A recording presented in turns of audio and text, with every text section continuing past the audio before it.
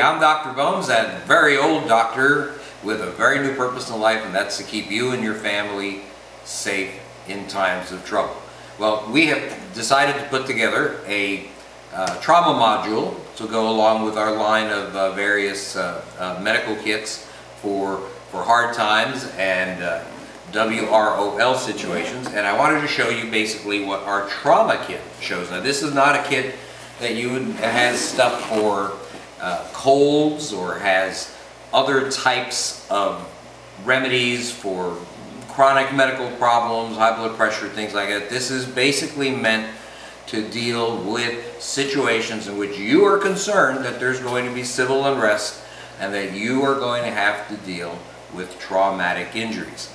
Now what we're going to do is we're going to just open this up and let you know what we've got in this bag so that we can tell you some of the things that we think are important for you to have in your bag, whether you decide to buy one of uh, our the Doom and Bloom uh, bags, uh, home of the Prepper Medical Corps, or whether you decide to price it out yourself and put together a bag that works for you. And here we go. Here you can see that we have a bag that has multiple compartments, and we're going to go through the compartments one by one. Let me just open this up a little bit better. Good. Okay, and you see, of course, that you need to have gloves. Now, it always makes sense to have as much of this stuff as, as possible in plastic bags just in case things get wet. And so most, most of the stuff that you're going to see here is wrapped in some kind of plastic. Here you see your EMT shears, or bandage scissors, and, and this is what you use to cut uh, away clothing so you can get to people's injuries. You have a scalpel here so you can uh, use that for the same purpose if necessary or to remove other material. You have a pen light, you have Vaseline so that you can put together with some of our gauze dressings that are in here and, and put together burn uh, dressings. You have some hydrogen peroxide to, to clean wounds. You have a, a irrigation syringe so that you can squirt in sterilized water or saline or, or iodine uh, mixed with water to clean your wounds. You have some eye wash here. Here you have triple antibiotic ointment. It's very important to put those on wounds that you either have just sutured or uh, wounds that are, are, relatively mild but are, are at risk for infections. Here are alcohol swabs. Here are hydrocortisone cream to help decrease inflammation. Here's some ammonia inhalants uh, so that you can identify when someone is uh, has just fainted or whether somebody has some worse type of injury that has caused them to become unconscious. Here you have iodine wipes, all sorts of various band-aids, a tourniquet, uh, you have a neck collar here, you have uh, a number of various ACE bandages, ACE wraps here. Here you have uh, an Israeli battle dressing, which is a very popular item and one of the best compression, compression bandages on the market, plus some hemostatic agents like Celox and even cayenne pepper, which is a natural hemostatic agent. Here you'll also find uh, solar blankets or space blankets, and I'm four of those. You have four um, uh, reuse, uh, four um, ice packs that are also very, very, very helpful. And let's see what else we have. Well, we have ABD pads, eye pads. You have the eye wash here, and you'll see some eye pads here. Always try to put the various things that you're likely to use close together in your pack so that you can identify them easily and use them very quickly. If somebody gets an eye injury, you'll know the eye pads are right next to the eye wash. Here are some ABD combine pads, which are sort of thicker dressings that you can put on top of of various gauze. Here's some triangular bandages which you use to make slings. And you could even use them to, to make a uh, uh, improvised tourniquet, although you, you have a tourniquet right here.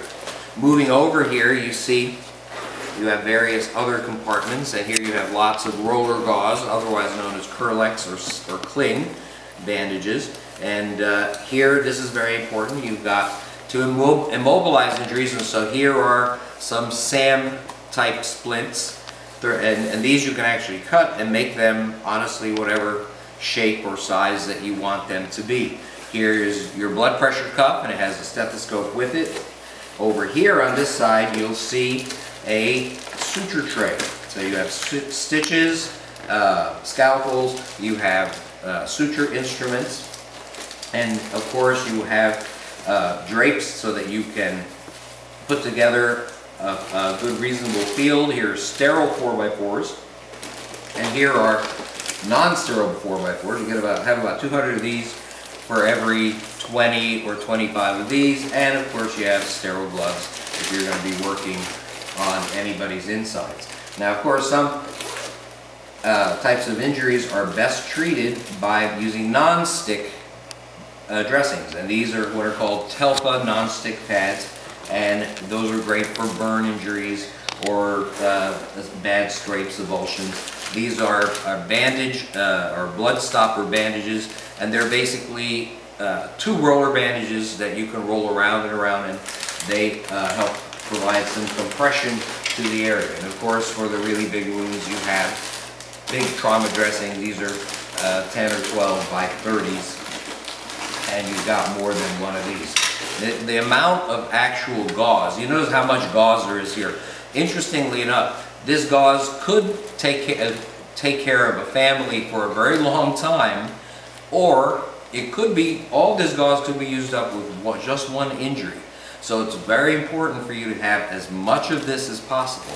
Remember that you can never have too many medical supplies. That any additional medical supplies that you might have are going to be excellent, excellent barter items. So if you think that you have more than you need, which honestly I don't think that that's really possible, but if you do think that you have more than you need, you'll always be able to find someone who's willing to trade other things you need for them. So this is our trauma module. This is uh, something that I think is very important. We have it for our family, every member of our family, every member of our group is uh, equipped with this and this is especially useful for the survival medic.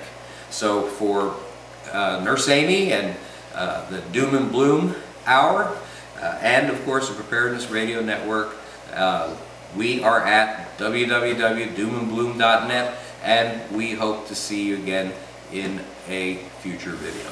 Take care.